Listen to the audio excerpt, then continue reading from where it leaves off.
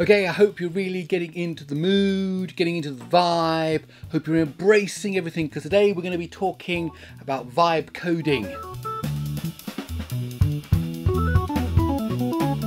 So this is the first video in a series about vibe coding. Of course, it's about using large language models while coding. However, it has a very specific definition. So after we go through the definition and the history of where this term came from, I'm going to give you a real world demo of how you can use vibe coding to create a website. Okay, so if you want to find out more, please let me explain. Okay, so let's get into this vibe coding. So it's uh, an interesting expression. Where does it come from? Well, it comes from Andrej Karpathy, who said in February of this year, there's a new kind of coding I call it vibe coding, where you fully give in to the vibes, embrace exponentials, and forget that the code even exists. So that's the idea. So it's really coding using a large language model to do all the stuff for you. You just want to go into the vibe. Just give me what I want don't worry about the code. Now, who is Andrej Karpathy? Why does he have the right to say such a thing and then have it coined as a phrase? Well, he has a PhD from Stanford. He was a founding member of OpenAI.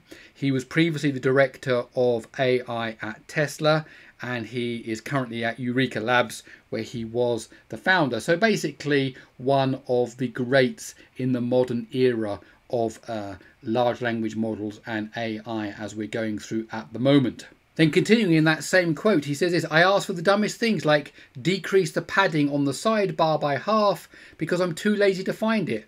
I accept all, always, accept all, that's all the changes. I don't read the diffs anymore. And this is where what we're, this is what we're talking about. It's talking about where you're getting a large language model, do the coding, and you are letting the large language model take all decisions. You're not trying to review it, you're not trying to look at what it's done, you're not trying to understand the code. You're just saying, I want to change the color of that box, I want to change the position of this, I want to add a new button here, I want to decrease the padding on that, and basically you let the LLM do it. So basically you're into the vibe, what you're creating, you're into the final product, you're into what is going to feel like, what it's going to look like, how it's going to respond, and you let the large language model deal with all the technical issues of the coding and all of that stuff. Another way to put it is this, uh, building software with an LLM without reviewing the code it right. And that's from Simon Willison, who's also a, a, very much involved in AI development today. So that's a really good definition, building software with an LLM without reviewing the code that it writes. That's vibe coding, where you just say, go ahead and build me that, change that, modify that, tweak that. You don't need to understand the code. You don't need to understand what's happening. You just let go with the vibe. You just let the LLM do it all. Or as another way that Andrej put it, the hottest new programming language is, well, it's not C, it's not Rust, it's not JavaScript, it's not Python, it's English. The hottest new programming language is English because you tell the LLM what you want in English or in the language that you speak, and then it goes ahead and writes all the code for you. And this expression has become uh, much, much more popular. Here we are now a few months later, and even the CEO of Google, in an interview he gave to The Verge, I was vibe coding a few weeks ago.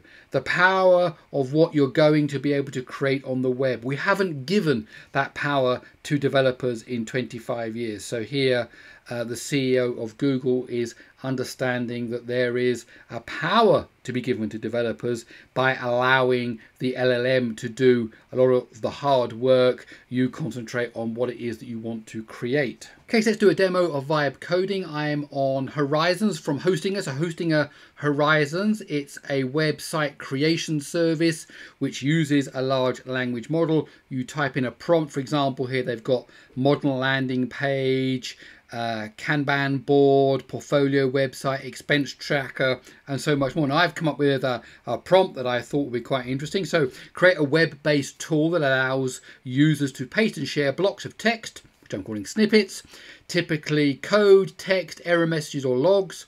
All shared snippets are public and there is a public landing page which lists the shared blocks of text with paging. Click on a snippet show it fully. Each snippet needs a unique URL which can be shared with others.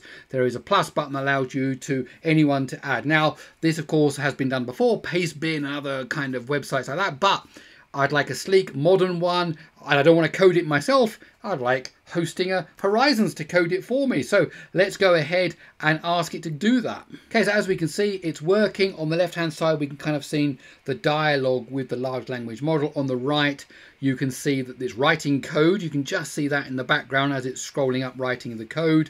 We're not interested in the code. This is vibe coding.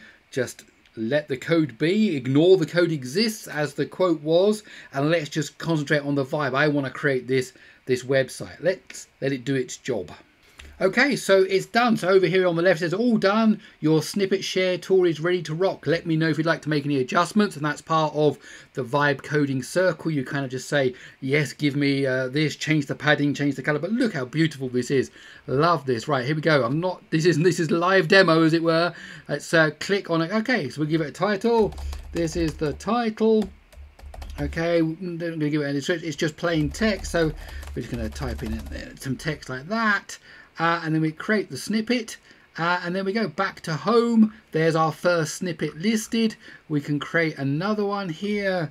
Let's go number two. What other languages have we got? Oh look at this. We can do C++ JavaScript Python.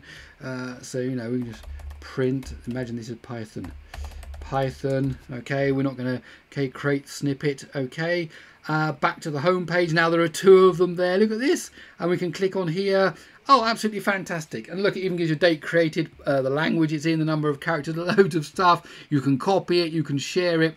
And of course, because this is vibe coding, we can just go ahead and ask for some changes. So I'm going to type into the prompt here, change the plus button from create new snippet, that's what it says here, to create snippet. So let's ask it to do that. Okay, so there you go, there it's done it. As you can see, this now says create snippet. I didn't have to find any code. I didn't need to work out where that's defined or anything. You can also go full screen to get the full vibe of what it is that you're creating and see those changes that you are making. And then when you are happy, you go ahead up here and hit publish and you can avail yourself all the different services that Hostinger provide. So if you want to try Hostinger Horizons, go over to hostinger.com slash Gary and also use the discount code Gary to get 10% off your first month. Don't forget that Hostinger offer a whole range of different services, including web hosting, VPS services, domains, and email services. Okay, now there's a follow-up video to this one, vibe coding what it's not, what it isn't, and that's coming soon. To do make sure you stay around, subscribe to the channel, and so on, so that you know when I drop that video. Okay, that's it. I really hope you enjoyed this look at vibe coding. I'll see you in the next one.